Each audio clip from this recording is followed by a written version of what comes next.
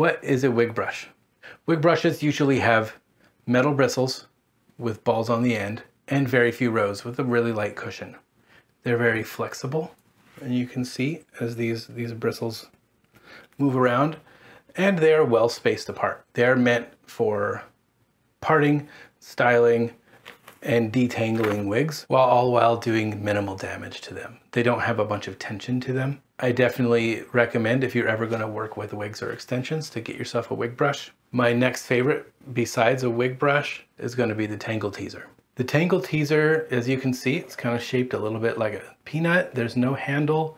I've been accused of using a dog brush more times than I can count. I promise you this is a human brush. It is my favorite detangling brush on the planet. It has two layers of bristles and they're soft and flexible. It has very, very little tension. I use this brush for wigs, for extensions, for, for humans, uh, for combing out tangles for like little kids that have tangles in their hair. People often get a lot of tangles in the back.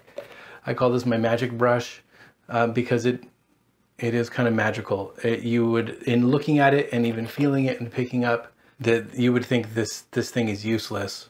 This isn't going to work. When you buy them in the store, the packaging comes with instructions, and it literally instructs you to brush from roots to ends, which is exactly the opposite of that anyone's ever learned. When you're detangling, you want to brush from your ends Get the tangles out slowly as you go and work your way up to the roots. This one, there's just something about it and something about the design that you can just lightly run it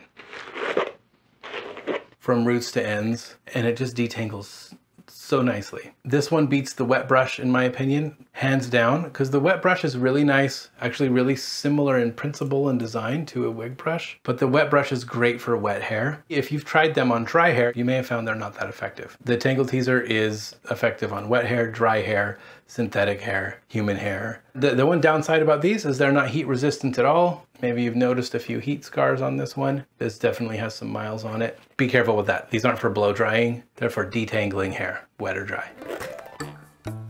Hey guys, thanks for watching this video.